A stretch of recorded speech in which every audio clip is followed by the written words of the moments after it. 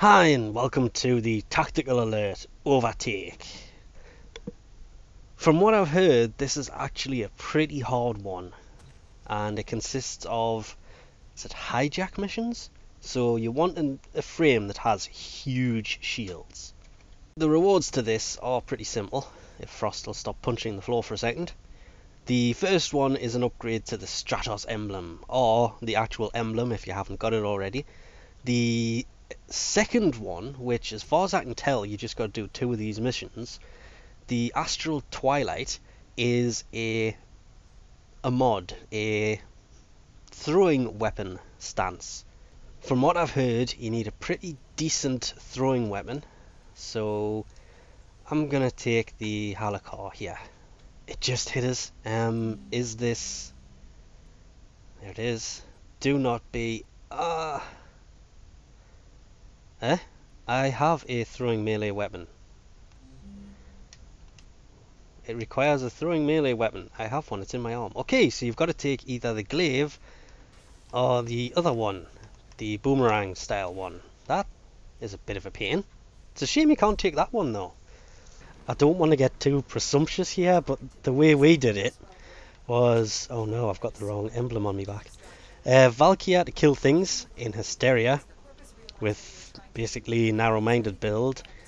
Um, Nyx to sit on top of the vehicle, I'm assuming. I'm not really sure yet. Okay, that happened. Wow, that was instant shield death. So, I'm not really sure what the limbo is for. We'll find out when we get there, because these guys have got a plan. I am literally just playing second fiddle in the hope that I figure out what the hell I'm doing. Of course, being able to see would help. What was that? Okay, um, that was a mistake. It turns out the nullifiers are... They actually take off hysteria. That would have been nice to know before I activated it. Give me enough power to... Oh, damn it! Magnetic damage! Okay, give me some power, give me some power, give me some power. Thank you. So this is let's just say interesting. I'm basically finding myself just running forward and trying to take care of those guys up there. And hoping for the best. Now I'm going to go back because I can see that coming behind them.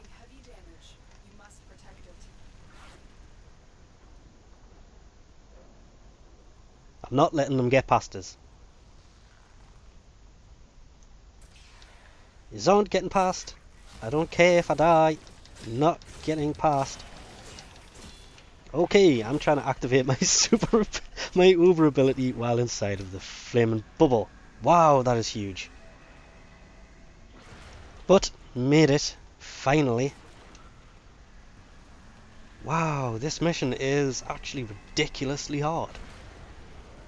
But we got so close at one point, I've actually got it recording, we'll fit that in here. This is working pretty well. Plus it's taking the shields off them and doing a bit of damage at the same time. So it is really hard. This is my third attempt just to get the first one done. Oh, no, no, no, no, no. If they're inside of the bubble, you cannot take their shields. But luckily, Mag Shield is immune to it. Now, I'm sorry guys, but I'm just gonna... No! So close! Look at it! Oh, damn it! there is the Stratos badge there. Looks pretty nice actually. It is coming along really nicely.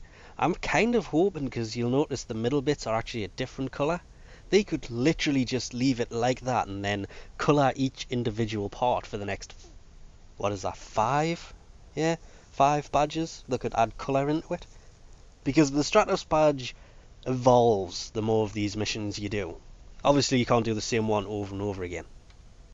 Second run, pretty much same kind of technique as the first time, only this time I know what the hell I'm doing.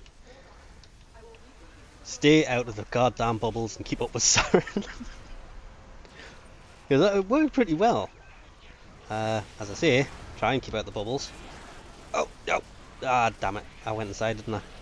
Yep. Crap. Well, Luckily, I did find a, a, team after the, I think it was five attempts I tried and failed miserably on. Uh oh, we're going too far behind actually. But luckily this team, they'd actually just done their second run, so thanks to them I actually managed to get my second run in, otherwise I would have been pretty much stuck trying to find another team because it's you have to find a team to do this. If you do not find a team, or then it is still possible, but it's not as possible. I'm not going inside that bubble. That is a death sentence, quite literally because it just pulls you straight out of that. And there's the second run. There's the Astral Twilight stance. It does only fit glaives. That would be the second one. So now we have Gleaming Talon and Astral Twilight. And obviously you need to fuse it to get them. That's all the red text means. And they look pretty easy to actually pull off. So I'm going to level this up, drop some mods into it, and see if we can demonstrate the stance a little bit. Wow, actually do like this. Um, Come on, do it, do it, do it. Why is it? Ah. I was pressing the wrong buttons. Oh, what an idiot. So the first one's actually pretty decent. I mean, that threw it out there, what, four or five times? I mean, that is... That is just impressive in its alone in itself. Uh, let's go take these guys out. Obviously the damage means absolutely nothing. We're just talking about the stance itself. And Holy crap!